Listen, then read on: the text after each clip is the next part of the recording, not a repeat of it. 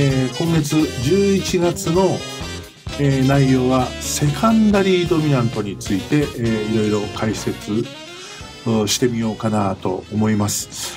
えー、このセカンダリードミナントっていうのは実はソロをする上でとっても大事なドミナントなんですね。あのー、ソロを聞いてあ彼のソロはあもしくは彼女のソロはなんかずっとドレミのソロだよねっていう評価を受けることがあると思うんですね。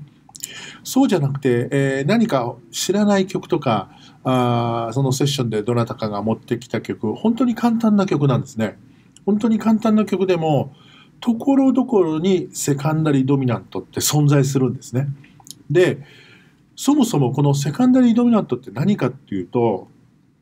いろんなあ条件下のもとで、えー、使われるんですけどもその多くは